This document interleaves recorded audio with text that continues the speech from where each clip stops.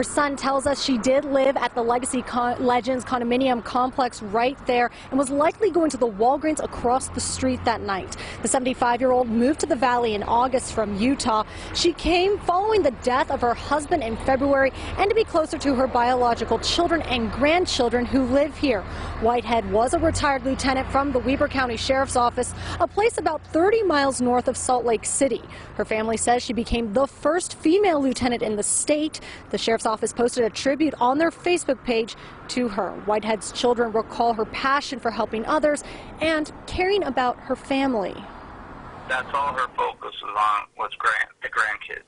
She wasn't in great health when she passed away, but that's the one thing that she wanted to see happen was that her grandkids are set up for the next stage of their life.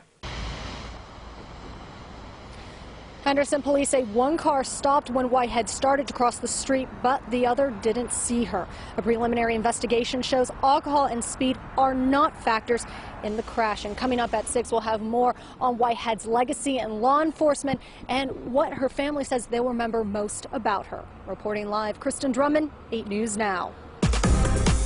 A man is dead after a North Las Vegas motorcycle crash. This happened around 4 a.m. near Craig and Lamb. Police say a 53-year-old motorcyclist was stopped at a red light there when an Acura car rear-ended him.